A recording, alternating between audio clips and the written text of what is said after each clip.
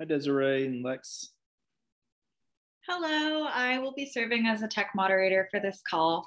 Oh, okay, I was just about to ask you, so thank you. Um, I will switch over hosting duties now. Sounds great. Thank you so much. Thank you. All right, best of luck. Appreciate it.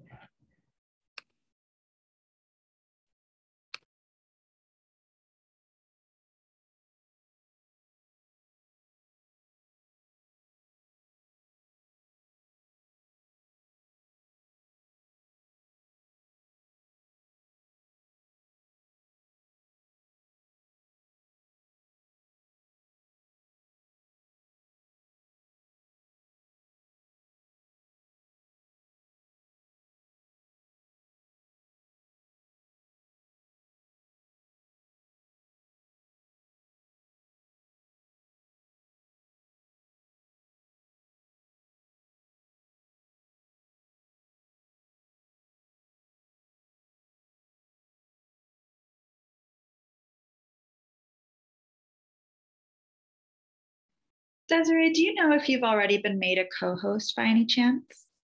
You know what? I am, I'm not sure. Would I have gotten um, some sort of email notification?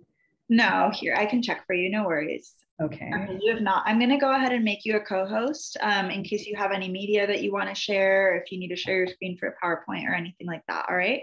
Okay. I know one of the other co-presenters will, I won't be doing that, but another person will be doing that. But I suppose if I'm the co-host, I can make her co-host as well. or- Yeah. Um, I'm gonna. I'm the tech moderator, so I will be sort of adding in everyone and um, any speakers and everything. I'll be giving them co-host um, responsibilities, I guess, and you guys will be able to kind of do your own thing from there, as far as any presentation goes or anything like that. Okay, excellent. And you'll just be here basically until we get started. Um, yeah, so I will actually be here for the whole thing because I'll close out the session when it ends and everything, but I'm kind of just here silently observing and making sure everything runs smoothly on the tech side of things. Okay, sounds good to me. Thank you. Of course. Thank you. Mhm.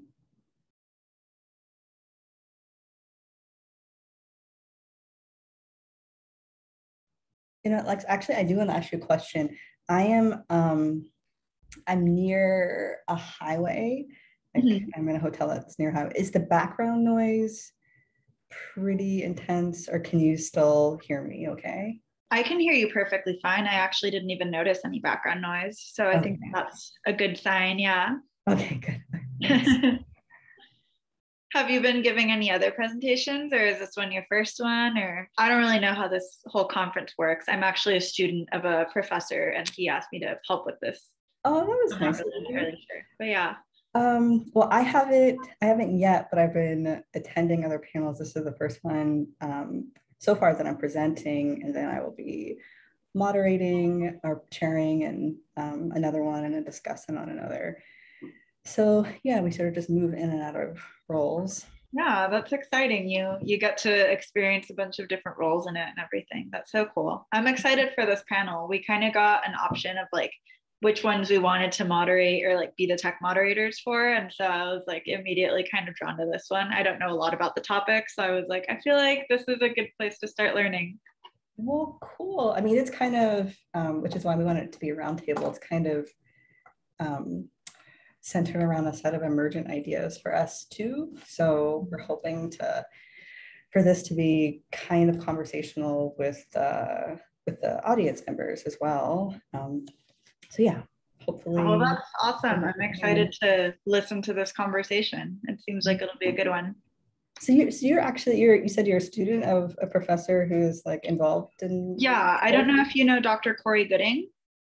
Oh, I don't know. I don't know Cory, but I do know of Cory. Yeah. Yeah. So I'm actually I'm a student of his, and he's my advisor um, at USD. Um, so he's worked with me for five years now. It's taken me a little longer to graduate, so he's known me for a while. Um, but yeah, That is just fine. I was talking to one of my advisees not too long ago, and we're like, you know what? There, people can they people graduate in four years, whatever. But I think that we should like normalize and be okay with folks taking a little longer. Exactly. there's a, there's a lot to learn. There is so much to learn. And I feel like if I was just rushing, I would not be sort of taking full advantage of those opportunities. One second. I'm going to check if this person is a speaker. Yes, they are. All right. Yeah. So yeah, there's no rush. Thank I you. mean, unless unless there is like you know some sort of like financial incentive Mhm. um, to getting done quicker, which I get, but if there's not, then taking your time is really nice. Definitely. Yeah. I've been trying to give myself a lot of grace as just as far as my mental health goes. And for me, Yeah. that looked like taking some time off, coming back, being enrolled part time, um, that sort of thing. So it's, I'm moving at my own pace, but it's honestly for the best. And it's something that I definitely need. Um, on that note, hi, Tara. Or is it Tara or Tara? I'm sorry. Tara. Okay, hi, I'm Lex. I will be the tech moderator for this call. I'm going to go ahead and add you as a co host so that you'll be able to share your screen or do any of those functions as you need. Um, so you're now a co host, just so you know. The other person who's a co-host in the waiting room is Tiffany Caesar. Or co co-host. Co- what, what All righty, let's go ahead and add a person in. You look very nice, Tara. Thank you. So do you, Desiree. Yeah, just threw myself down here. Oh, oh man, well here we go. Hi, Tiffany. I am Lex. I'm going to be the tech moderator for this meeting. I'm going to go ahead and assign you co host responsibilities in case you need to share your screen or audio or anything like that. All right. Um, Okay, you are officially a co host as well. Um, I'm going to assume that the other people in the waiting room are attendees of this conversation. Um, so I'm going to go ahead and wait to let them in until it's the start time officially. And you'll give me the green flag that you're ready to go. But I'm excited to listen to this conversation. Yeah, me too. Thank you so much, Lex. Hello. hey. Here we go. I was really nervous because I couldn't get in. I couldn't um, access the password, but I'm so glad I just realized I could just click the Zoom link. So Uh, I'm so glad. If it makes you feel any better, I actually I missed my earlier session today. I so I'm in California. I go to USD and I didn't realize that all of the times were in Eastern time. So I was like texting um, Dr. Gooding, who is my professor, and I was like, "What's happening? Like, why am I not being let in? What am I doing wrong?" And he's like, "They're all in Eastern time. Your thing was at nine. And I was like, "Oh, yeah, I'm so sorry." So I almost, I almost missed this myself. Tara, yeah, I just I just saw I, I have my phone on do not disturb, so I just saw your um message to us. My bad. I'm glad we're here. Yeah. Hello, Dr. Caesar. You're muted. Yeah, so I just got through teaching class and I thought like, you know, I was gonna have all this time to do stuff and it's just like, did not. So, so I'm just, I'm here hoping that the class I'm sitting in is not going to, um, that there's not another class afterwards. so that I- Yeah. so that I won't be interrupted. So I wanted to show pictures, but I don't have that. I, I just have a picture of my image. So I think that's the only thing I can show right now, but that's what I have. That is more than enough. You, Okay. you don't need to show anything. It's just kind of an option for anyone who feels like it'll help facilitate their conversation or what they're presenting on. But Okay. you and your face is more than enough, and you look great. So no Okay, stress. Awesome, good. That's great. Just like, Lex is wonderful, I'm telling you.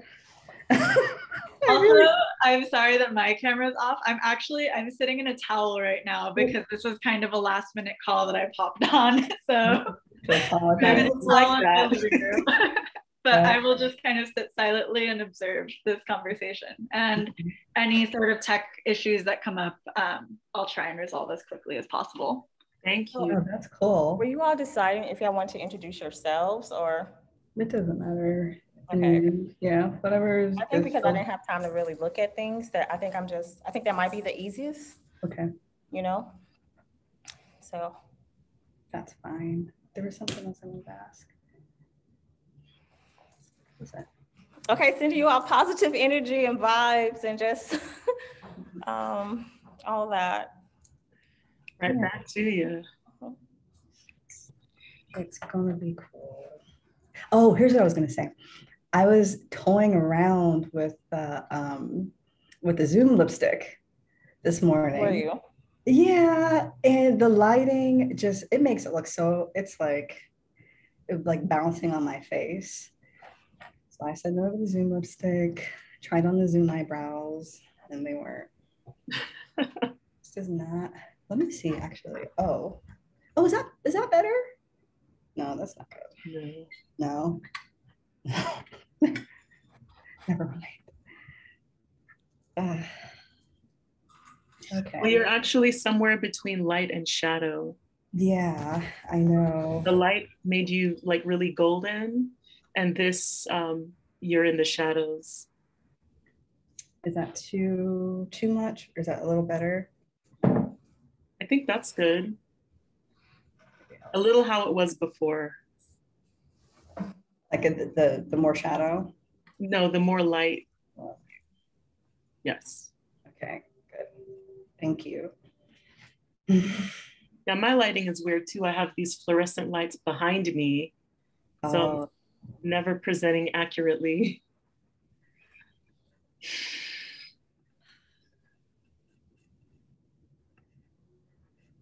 hopefully we have some. I see Tiffany is here. Tiffany Jean. There are so many other good ones, good panels that are happening during our panel. Hopefully They'll be have access to those recordings. But yeah, I think we could still more or less go through the the run of show that um that you posted, Tiffany. Okay. Just checking in, are you all good for me to admit the participants now, or would you like a little bit more time to get everything in order? Are you all set? Sure. Yeah, all right, I'm gonna go ahead and admit everyone. If you guys need anything from me, feel free to send me a chat or talk or whatever, but otherwise I'll just be here quietly. Okay. Thank you.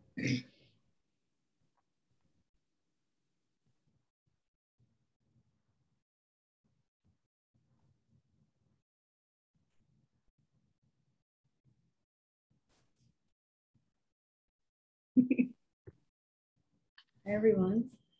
I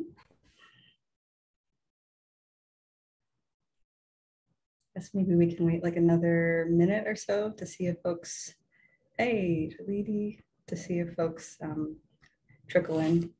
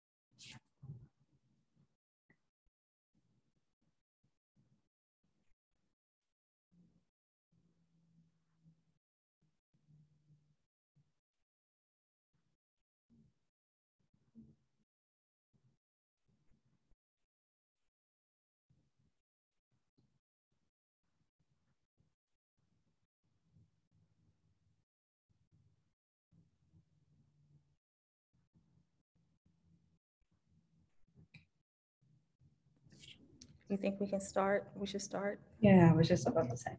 Mhm. Well, welcome everyone to our panel. Um, our panel is Mothering Dead Bodies, Black Maternal Necropolitics, and it's a panel of three. And we have each decided just to introduce ourselves. So I will begin. My name is Dr. Tiffany Caesar.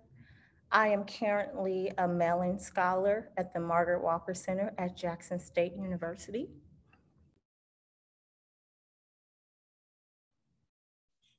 Hey everyone, it's really good to be among all of you. My name is Desiree Melonas. I am an assistant professor of uh, political science and also the coordinator for my institution's Black Studies program. It's a fledgling program. Um, and I am in Birmingham, Alabama as we speak. Good afternoon, everyone. My name is Tara Jones, and I am a doctoral candidate at Pacifica Graduate Institute in depth psychology, emphasizing in community, liberation, indigenous, and eco psychologies. And I'm also an employee of the University of California, Santa Barbara, where I coordinate the African Diasporic Cultural Resource Center.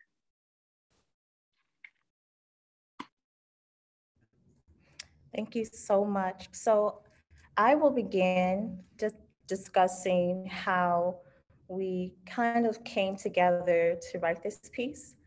Um, again, the name of our panel is Mothering Dead Bodies, Black Maternal Necropolitics.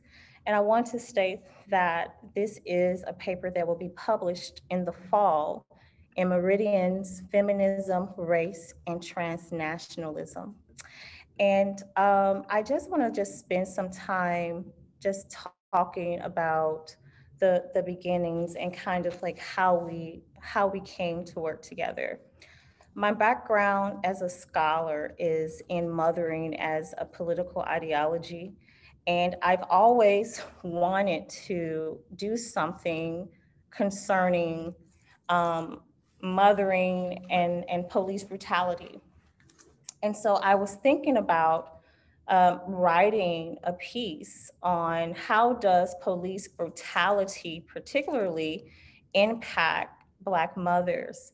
And I, I am currently a part of a, a phenomenal um, writing group called In for, In for Us. And I would like to shout out Dr. Tiffany Willoughby Herard, who um, was very um, critical in getting getting us together. So um, we are collectively, as we are writing or publishing this article, we also meet weekly and write together. So I was um, meeting with um, Dr. Melonas weekly at one point, and I was telling her, like, you know, I'm thinking about, you know, doing this particular piece, and I'm I'm thinking about this particular ideal of mothering dead bodies. Like what what are we what are the experiences, particularly of of Black mothers um, who go through this particular phase in which they um, lose a child due to police brutality, not only lose a child, but go through these particular phases in which they have to learn to live again and then become activists right? As as they are going through their their mourning stages.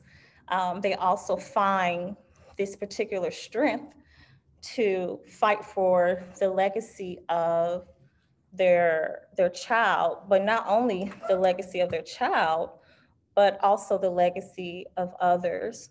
And so i was very much so interesting in in creating um, theories and narratives that further uh, explain um, this particular ideal of what what happens to to mothers, particularly when they are um, under this particular stress and I would say oppression and are targeted when their child um, dies um, due to police brutality.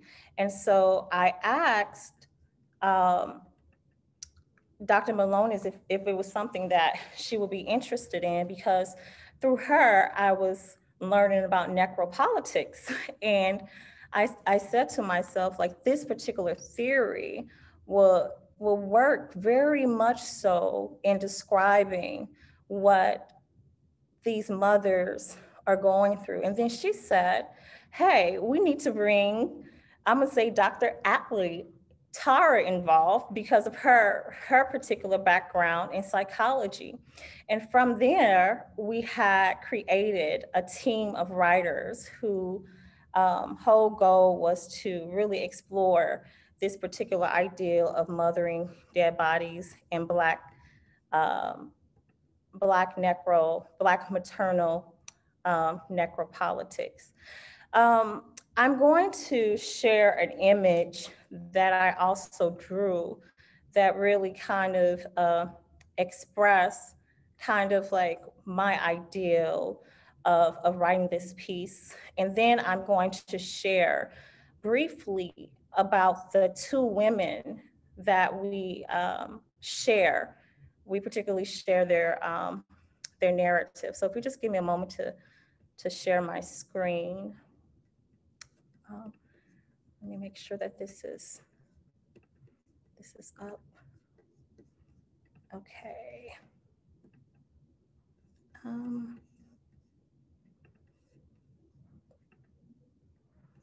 all right. I always feel like I should like tell people in advance, please don't judge my screen because I always have stuff. I always have stuff everywhere. And I just want to enlarge it. Can I? Okay, so when I, as a writer, I, I, I merge um, art into my, my writing. And I've, um, I also use art as a form of brainstorming. So when I was thinking about this piece, um, this was one of the pieces that I, I drew. And I was thinking about this idea of blood nourishing the roots because it is the blood of their child that kind of gives them, give these mothers the strength to I would say, launch into these forms of advocacy, right? And so um, if you look up, you will see um, the names of the organization that these two women that we focus on in the piece.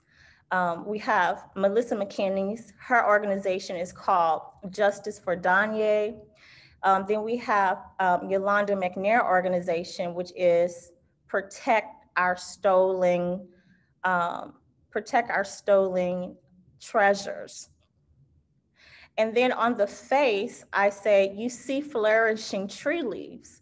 Because for me, there's something in the blood, right? There's something in the blood um, that's shed that also provides life.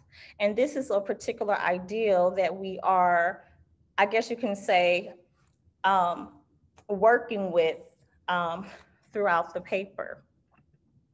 And so now I just would like to provide just a little bit of, of, of the background.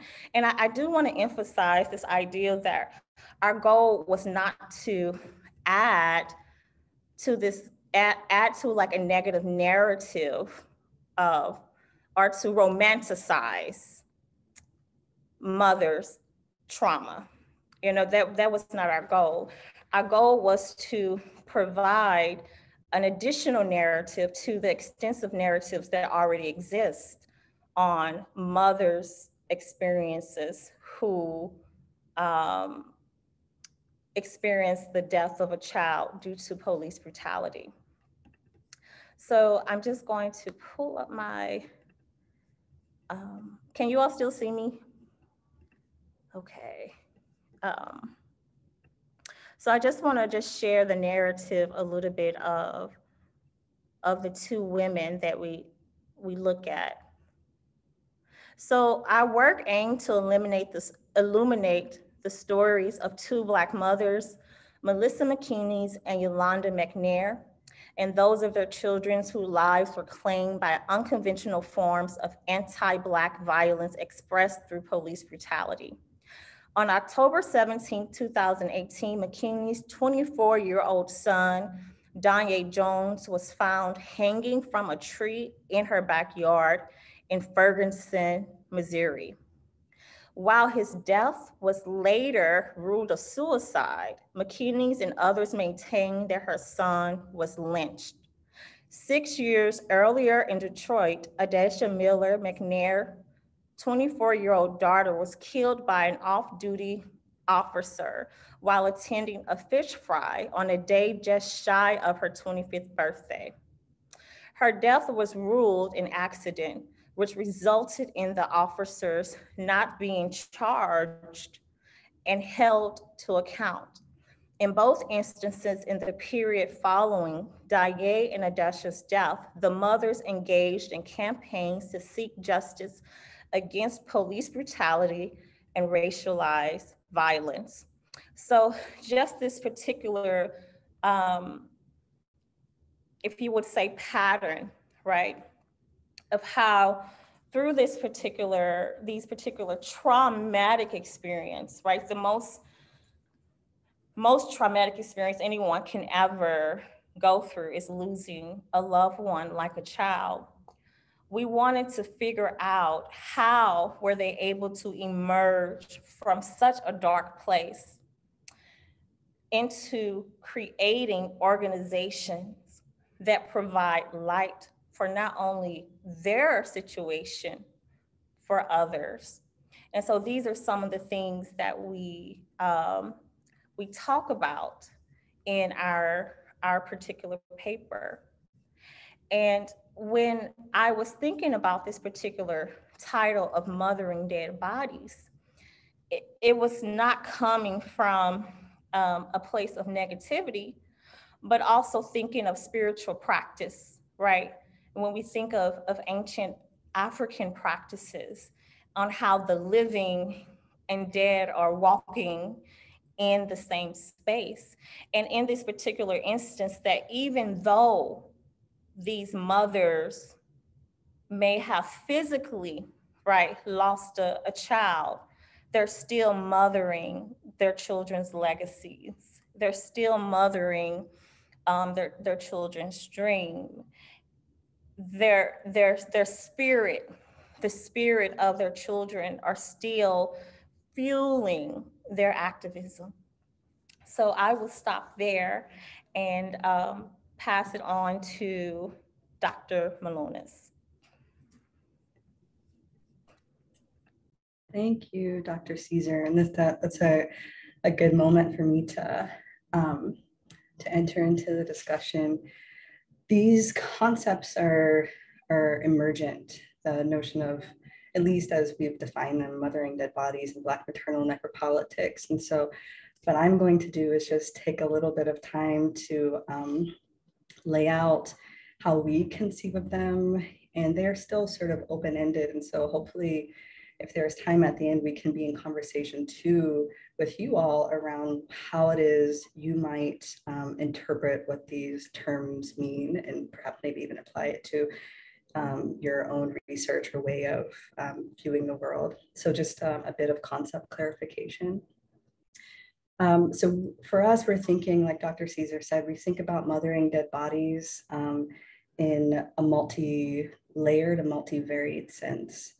Um, we think of it as the, the kind, the work, the mothering that happens, that transpires along multiple scales and temporalities and even dimensions. So there are, at least in our conceptualizing of it in our paper, there are four sort of layers to this. The first of which is in a more concrete sense, um, or this is how we're applying it in a more concrete sense. It's meant to capture the process or the processes of coming to terms with what it means to mother in the aftermath of having lost one's child um, in particular due to police, brutality or other forms of anti-Black violence. Um, and in such an instance, uh, a mother, Mean, to be clear, just as a, a sidebar for a moment, we're thinking about mother in a really capacious sense. So not only in the biological sense or um, individuals who mother by way of adoption, but also other mothers. And so I just want to, to, to bracket that. But in such an instance, um, a, a mother who has um, lost their, their child broadly conceived once again, they might um, contemplate what does it mean? Can I inhabit this identity of a mother when um, feeling bereft of the, the very being or beings who have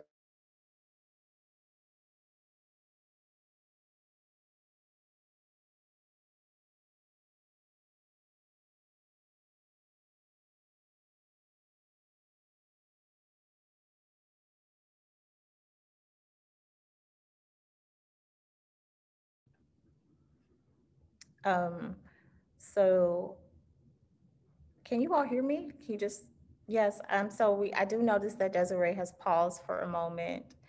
And um, I'm just going to um, ask if it will be okay if, um, if Tara, if, if Tara, if you can kind of talk about your, your part. And then when um, Dr. Malone has come back, we will have her continue. So thank you all so much for, oh, okay. I'm I'm back. Okay. Okay. oh my gosh, unstable connection. Um, hopefully it holds out. My goodness. Well, I better move on in case um, it happens again. But anyways, the second is once again um, a, a mothering practice enacted within context in which the inevitability of Black death um, is presumed. And so that is thinking about the relationship between death and Blackness um, in a teleological sense, that is, them being sort of coextensive with one another. Um, and in fact, Audre Lorde and her work reminds us of this. And someone in an earlier chat brought up this line of hers. Um, she says um, that to survive in this mouth of a dragon we call America, uh, we have to learn this first and most vital lesson that we were not meant to survive. And so, mothering dead bodies is a mothering that occurs with that sort of in the background.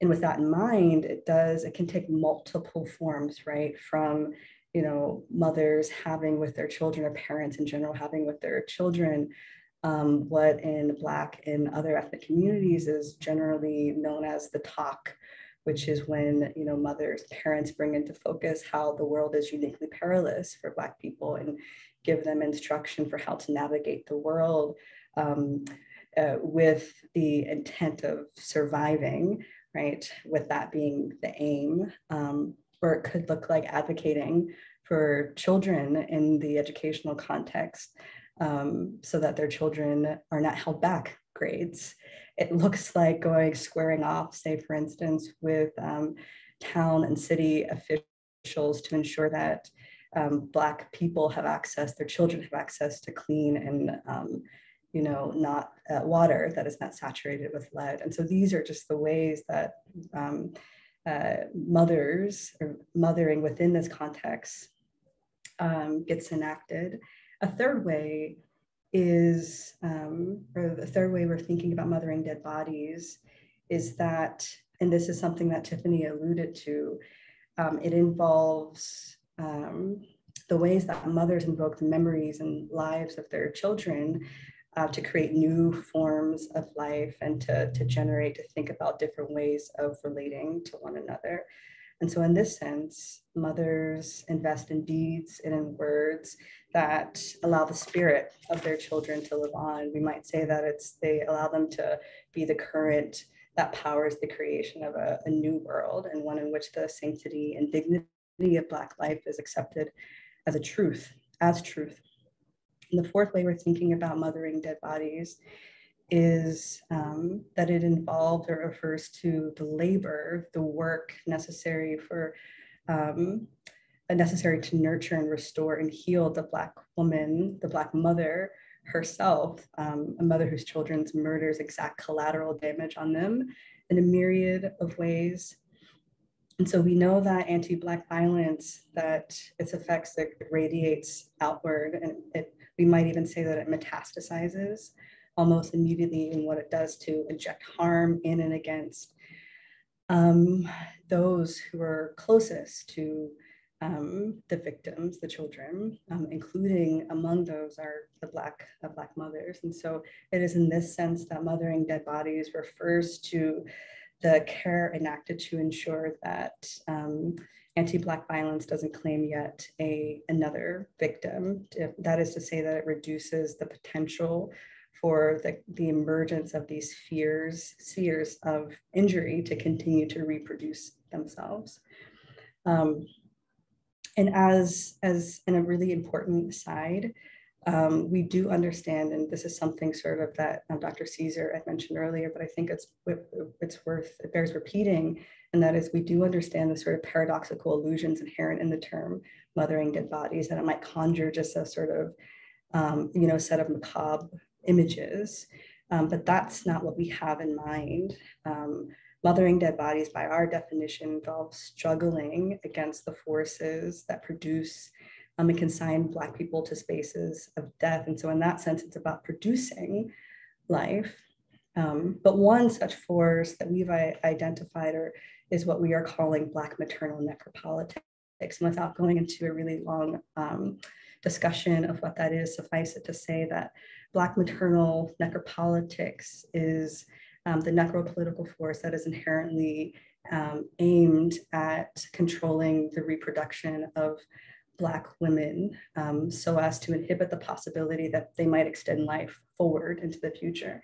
And here, once again, we're not just thinking about carrying life forward into the future um, in just a purely biological sense, but we're thinking about the reproduction of ideas, the reproduction of knowledge. Also, um, we're thinking about the forces that would impinge on the woman's capacity um, to administer, to minister to her own well-being so she can extend her life forward into the future.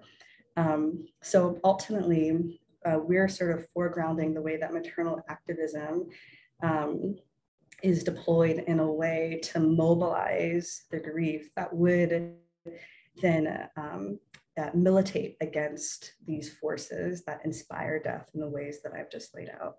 Um, so I will I will stop there and pass the baton to my colleague, Tara Jones. Thank you, Dr. Melonas.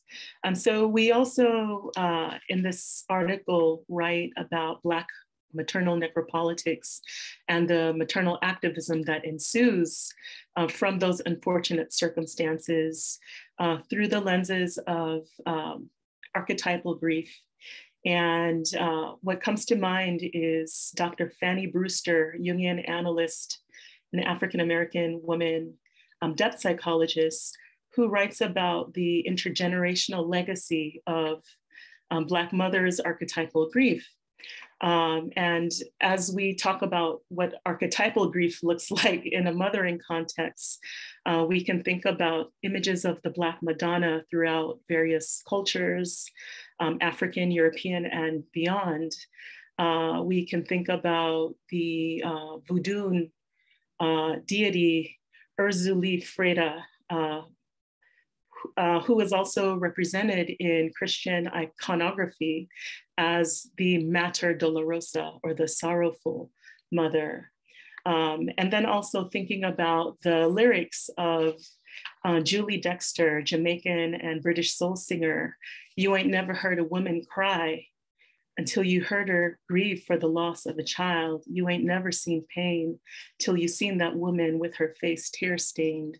And so we really drew um, quite a bit on depth psychology in terms of um, looking at this archetypal grief as it related to the 400 years of enslavement of um, and subjugation of Africans uh, across the diaspora and what this has meant for um, the identity of the Black mother as she seeks to mother, as they seek to mother uh, in this necropolitical context.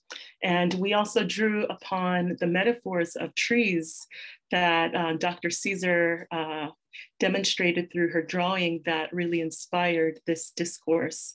Um, but we think of, uh, we used uh, the parables from Wangari Maathai's Trees, written by Wole Soyinka, um, to really um, think about the relationships between human beings as trees. I mean, we think of our family, we use the language of family trees to describe our lineage.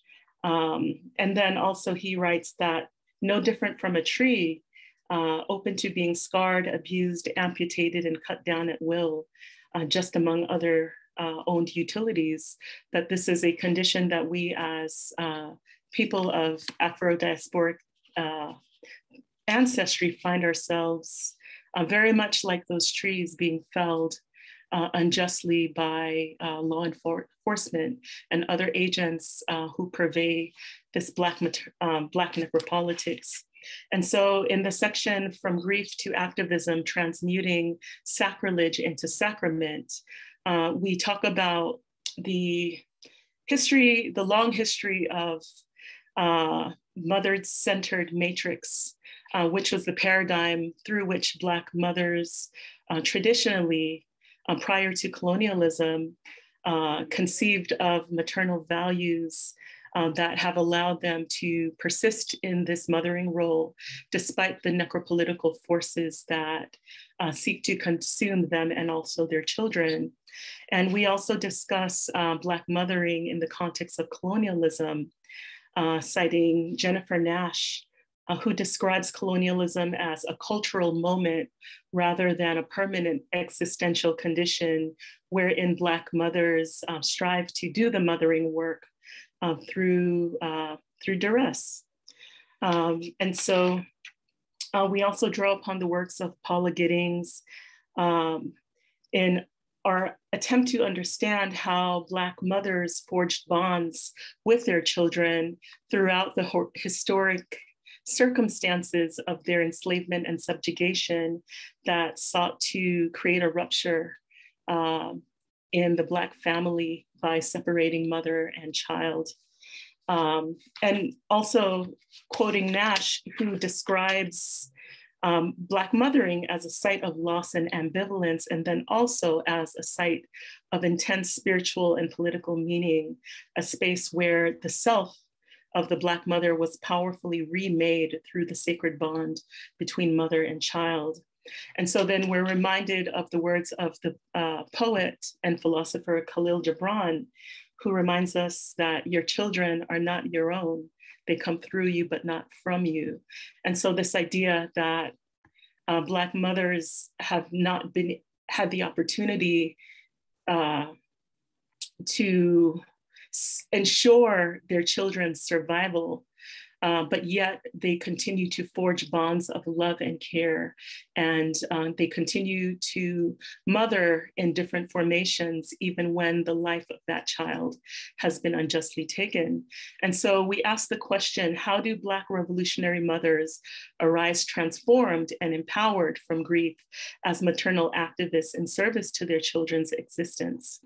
And in order to answer that question, we work with the theories of Edouard Glissant, a Martinican poet and philosopher, uh, and using his metaphor of the boat, uh, the, the slave ship, uh, and the language of the abyss, um, uh, evoking uh, imagery of depth, and this idea um, of Black diasporic mothers finding themselves in the same boat uh, of necropolitics. Uh, and so um, to cite uh, Black anthropologist Dána-Ain Davis, uh, she says that mother, Black motherhood cannot escape being a site of political struggle and animated by emotional labor of pain and terror. And so we, we theorize that Black mothers find themselves plunged into the depths of suffering into this abyss through loss and the ensuing grief and mourning that uh, takes place. And we ask the question uh, why go on? And in order for us to answer this question, we return to the middle passage in order to understand the alchemical process that occurred within the African psyche that allowed Africans to endure uh, being in the belly of that boat.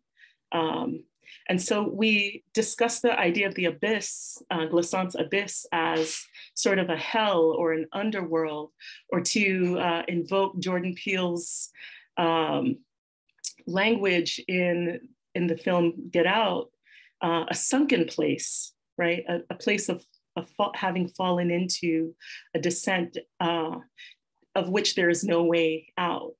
And so uh, we think of these this abyss or these abysses in terms of the language of enclosures uh, articulated by uh, anthropologist Damien Sojoyner, uh, which uh, includes schools, prisons, or any um, construct meant to confine and uh, essentially uh, render Black life null and ineffective.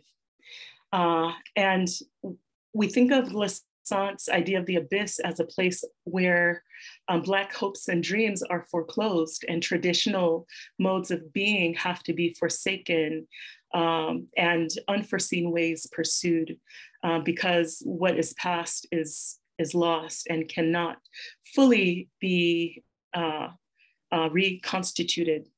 And so we talk about maternal grief and mourning um, in terms of this idea of Black mothers finding themselves in a pit of despair uh, and, and really uh, susceptible to um, this, the sequelae uh, that that mourning produces in terms of um, the slow death that mothers may experience uh, when their hands are tied, when they can do nothing to bring back that life that they have uh, invested their entire being in.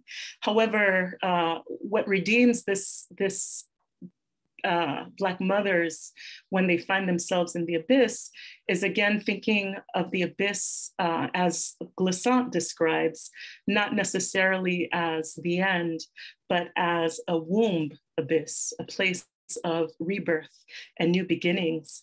And so Glissant writes that the boat is a womb, a womb abyss. It generates the clamor of our protests. It also produces the coming unanimity.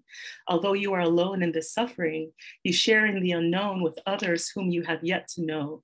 This boat, pregnant with as many dead as living under the sentence of death. So this boat is most definitely, definitely a place uh, where this discourse on necropolitics would apply uh, in that it is a boat that carries those who are presumed dead even while they are still living and breathing. Um, and so we reimagine the descent into archetypal grief as this womb abyss, a portal of new beginnings, and also a place where new relations with the, the, the self of the mother and also with the world are formed and the womb as an, as an amniotic space, as a place um, of death and rebirth, a baptism of sorts, uh, into the identities that mothers who survived this grief uh, assume, which in the case of the mothers we interviewed, uh, is, is the identity of the activist mother. And so, as Davis reminds us, we constantly carry deceased children while simultaneously negotiating imagined futures. And so, we, we understand uh, through the stories of the interviews of the mothers uh, we, who shared their stories with us that the Black mother's griefs are not only about the death of the children, although that in itself uh, is the source of grief, but it also extends um, beyond the death into the, the, the, insult that is added to the injury um, that is uh, characterized by the spectacle that is often made of their children and the desecration of their characters. Uh, in the case, for example, of, uh, of T- Trayvon Martin, uh, whose assumed use of marijuana somehow justifies his um, killing. And so the activism of these mothers, as we understand it, uh, is not only, it's, it does not have the capacity to bring back the life, but it is a very important part of their healing journey uh, in that they demonstrate their survivor mission, uh, what gives them reason to live after they have lost um, the basis for their life's work um, through the defense of their children's good name and through their legacies. And so here we also invoke the words, the maternal elegy of Bob Marley and the Wailers in the song Johnny Was, where Bob sings, Johnny was a good man, he never did a thing wrong. And so we think about what it means for the Black mother, as Glissant says, to live relation and to clear the way for it and, and really picking apart the language of the term relation. Uh, we think of the mother's survival work as that of relaying, of retelling, and also remembering, bringing back together that which was uh, asunder through this Black maternal necropolitics. Um, uh, to address the issue of the malignment of the children's character and um, and also blaming them for their own death. Uh, these mothers uh, seek to, to restore and to retell the truth of who their children really was, and that that is a really critical part of their survival work. And so, um, in that sense, as Glissant says, right, Black mothers' cries, their mourning, is actually quote, transfigured into the speech of the world as they become spokespeople who challenge Black maternal necropolitics through their activism. And then finally, uh, Wole Soyinka asks us the question, what becomes our duty whenever one or more of us are unjustly felled? Here again, invoking the metaphor of the tree. Uh, and so I would argue, or we argue, that Black mothers make it their survivor duty um, to proclaim the truth of who their children were and who they continue to be uh, in the spirit, even if they are no longer embodied. And also, Soyinka asks, reminds us, uh, which is very important uh, in our discourse, that unlike trees, however, the felling of the human is only a trick of absence that leaves no void. Tree or poem, the product of mind and will remain. And so uh, we do um, we do apply an African-centered idea of what life and death actually means in the context of uh, mothering dead bodies. And we understand that these mothers come out of the abyss of maternal grief and suffering uh, th not, not through an easy process, but um, through this pain and suffering, they harness uh, the energy of the love that they held for this for their children and the love that their children had for them. And through their persistence, through the suffering, uh, and through their willingness to go into uh, this hermeneutic process of, of going into the underworld um, and redefining themselves and their relation to life, to living, and also to the dead. Um, they're able to transmute the energy of necropolitics uh, in order to advocate for the survival of the whole uh, race. So thank you very much. Thank you so much. I, um, I just want to uh, just jump in and just add to the discussion um, before we um, open it up for answer questions um, and, and, talk a little bit more about the our process of working together. I did want to say that our work is also rooted in Black maternal activism literature as well as revolutionary mothering literature. Um, the scholars have already mentioned the works of um, Patricia Nash. Uh, we also use Dr. Tiffany um, Willoughby Herard um, works. We, we use revolutionary mothering love on the front lines um, and their particular ideals surrounding revolutionary mothering. Because again, as we all stated, we are not coming from um, a, a, deficit. We're not coming from a space of, of negativity. We are really trying to provide um, another way of viewing this that in our our hope is to you know inspire and encourage. Um, and i just would like to to share what revolutionary mothering is. Um, uh, revolution revolutionary mothering um, includes creating nurturing affirming and supporting life. So in our in our paper we we discuss how these women and why it's important um, for them to do these particular things um, revolutionary mothering is inclusive of gifting one's talents, ideals, intellect, and creativity to the universe without recomp recompense. The imperative to build bridges that allow us to relate across uh, barriers. Revolutionary mothering is a form of radical it's a radical point of view that leads to considering survival as a form of self love, survival as a form of self love, and as a service and gift to others whose lives will be diminished without us, right? And, and um, also, this idea that uh, we see mothering as encompassing a range of actions and embodiments that extend beyond nurturing children in the conventional sense including fostering Black freedom movements, right? As these uh, mothers intersect in um, movements such as Black Lives Matter, right? Um, due to their um, the death of their children. And I would just like to share a few of their words um, um, just to, to end um, this part. We, and again, I, we did not mention earlier, but we received permission from both, uh, both um, Yolanda and M Melissa.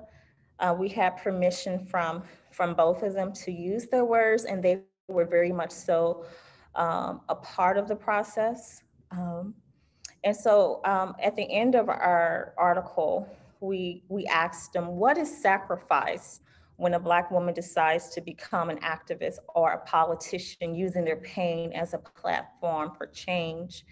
And Yolanda McNair stated, the first thing that is sac sacrifice is privacy because all of your other children become open to the public as well as the victim's children, your spouse as well. There is judgment on whether or not you've been a good person. You lose your ability to be an individual and you're judged by what other activists do or don't do. For example, there are a few mothers that are activists, and due to their inability to cope with pain, they turn to alcohol and they are drunk in public. And outsiders judge all of us based on their behavior and feel that we are all alike. We all have our own way of handling our pain and grief when it comes to public scrutiny that they choose the worst. Uh, Melissa McKinnies state, our time and safety. We sacrifice our family. Most of the time we know it's a sacrifice, but we just do it. We do what needs to be done. And then on the flip side, we ask them how, how do they maintain hope? And Yolanda McNair said, I remember who my daughter was and that she loved life and I have to honor her legacy. Number one, I work to attain her justice. And number two, I work to influence the system for others. That's how I maintain hope. And Melissa McKinnies stated, it's a hard question because what is going on and what has transpired, the only thing that maintains hope with me is my children that are left and my grandchildren. That is the reason why I still fight because it's hard to even think about it happening to another child or another one's baby, even if I'm not saving mine. If, if I can at least save one, I have hope, but it's difficult. So we wanted to make sure, you know, that we provided that balance, that we wasn't romanticizing this idea that they were creating these organizations, right? But also acknowledging the fact that they are choosing they're choosing a revolutionary act, right, by engaging politically to fight um, for the legacy of their child and children. So um, I did wanted to uh, open it up for, um, uh, I'm gonna say Dr. Jones and um, Dr. Melonas to share anything else um, before we open the questions.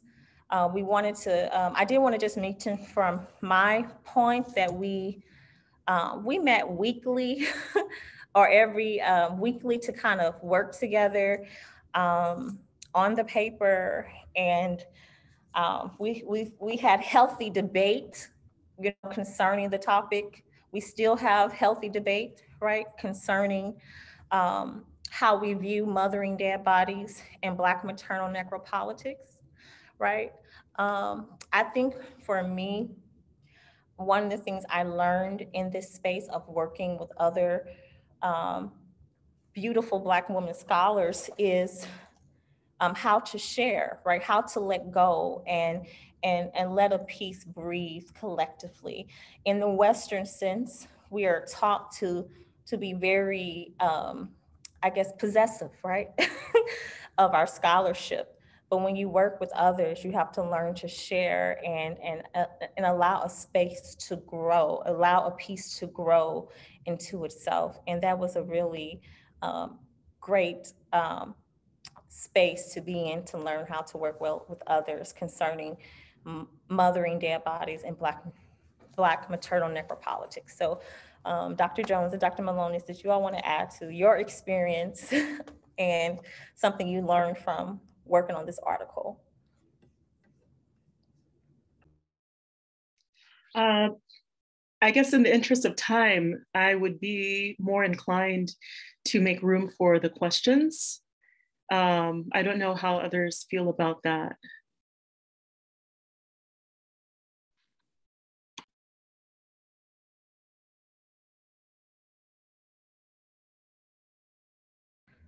So I would like to say, um, if anybody have any comment and or question, I did want to mention that we want to expand the project and make it an edited volume in which we will solicit um, articles from other people who would like to um, talk about police brutality and Black maternity.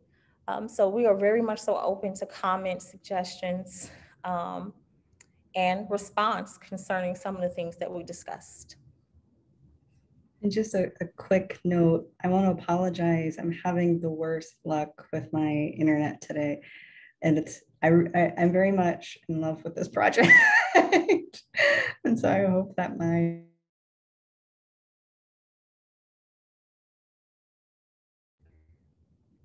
And I, I, would just like to say, if you would like to say something, just please feel free to just unmute yourself and um, just speak freely.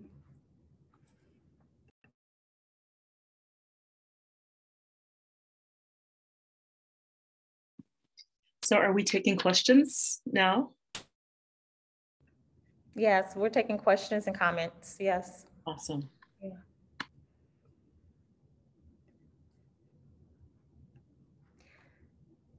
And, you know, um, if there's no question or comments like immediately, Dr. Jones, I believe you can you can go ahead and just share your experience of, you know, working with us and something you learned about this particular process. Yeah, I mean, uh, for me, this was a very new experience to co-author um, and to work very closely with uh, with scholars outside of the field of depth psychology.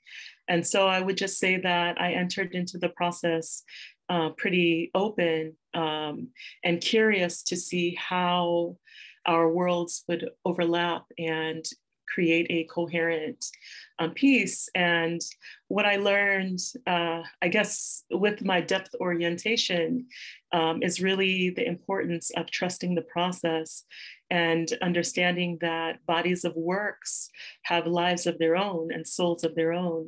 And so, in a sense, uh, we were all mothering um, this, this paper together.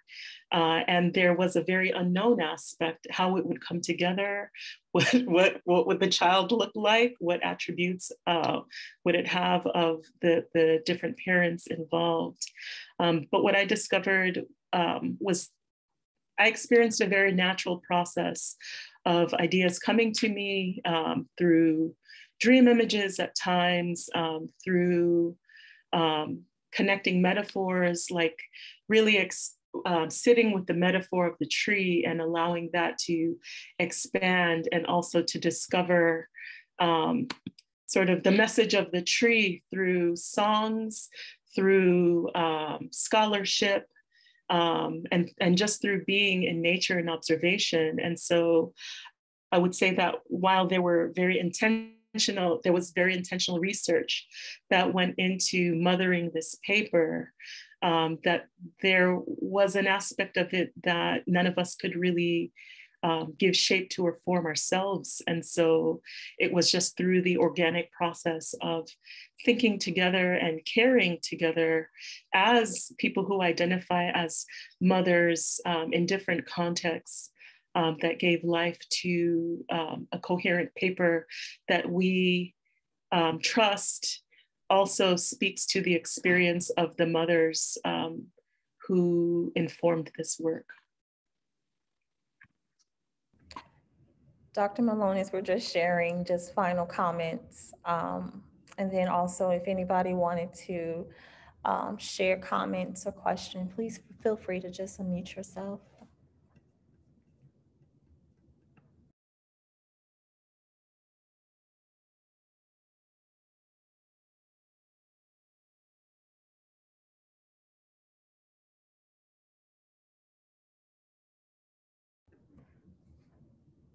Dr. Malone, is that you want to just share about your experience of, of working um, in the group and some of the things that you may have learned about the process?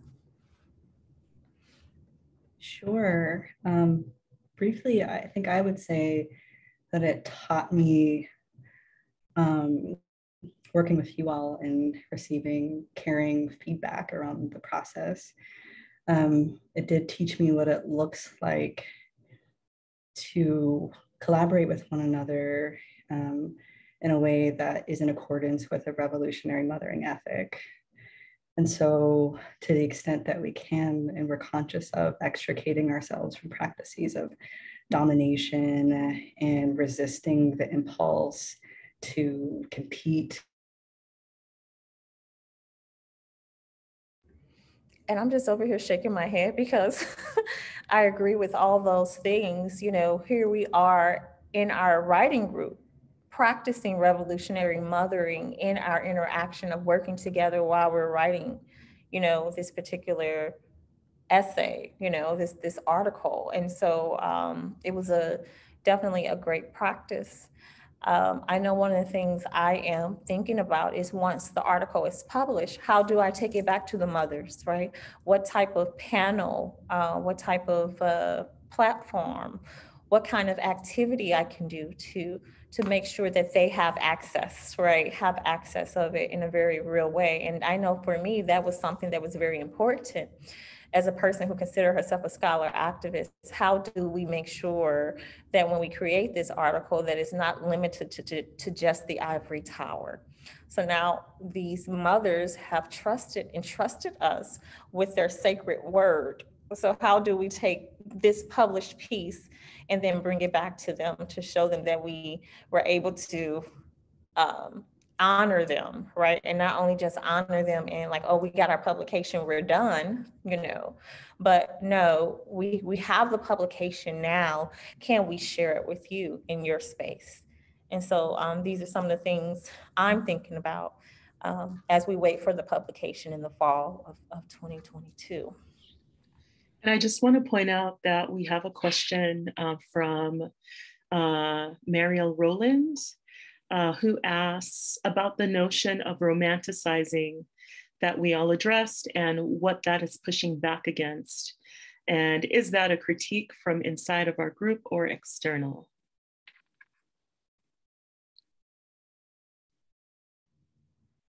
Yeah, um, hopefully I stay on long enough to answer this question, but that was just quickly, um, we wanted to make sure that we issued a disclaimer that in our foregrounding Black women's maternal activism, that we are not somehow bolstering a strong, the strong woman, the superwoman trope that Black women, whenever they encounter grief, they just press on and press through. And so we did not, we weren't, we weren't meaning um, that wasn't un- that that wasn't unintended or that wasn't intended. So we wanted to make sure that we front loaded that was a part of the front matter of our of, of our work is that we recognize how this might be construed and this is not what we're doing that we can you know hold these things in the same space with one another and not um, you know reify a really problematic and damaging narrative. And i think along with that we were also very much concerned that as uh, Eve Tuck warns us um, not to produce another damage centered narrative. And so um, we were not really, we're trying to find that balance between not romanticizing um, and, and telling the truth of, of the nature of this maternal mourning, but at the same time, um, really demonstrating um, something beyond the beyond the blood and gore that we associate with necropolitics.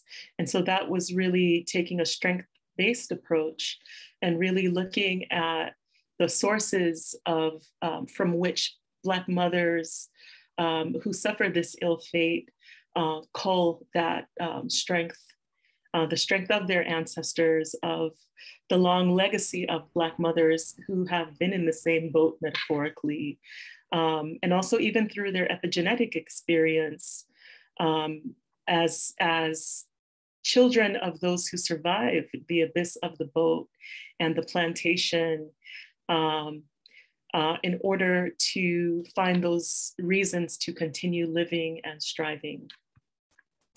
We have another question um, from Dr. Herard, and she she wants to know um, about our process. Can we talk about why we decided to do a, a co-authored um, a piece? And um, I know, um, I guess, when I was working on the piece, um, I, I was starting to think of people and backgrounds, and I had through our beautiful group, writing group, and for us, I had read something that Dr. Melonas had did on necropolitics. And I was really, I was really very much so interested in necropolitics and wanting to, to apply it to Black mothers. And um, so I asked, you know, I, I just said, hey, can you contribute? You know, what are you thinking about this idea? She said yes. And um, from from there, we just, you know, we included more, right? We we understood, um, or say Dr. Jones' background in psychology, right? You can't talk about these oppressions that Black mothers go through without understanding some form of uh, psychological without having some form of understanding of, of their psychology, right? And so that's kind of how it it kind of happened. It kind of really happened organically, how each of our backgrounds just kind of merged, um, um, merged in this paper to to to really provide a holistic picture of, I would say, Black maternal necropolitics and mothering dead bodies. It it made sense did any one of you all want to talk about the co-authoring process?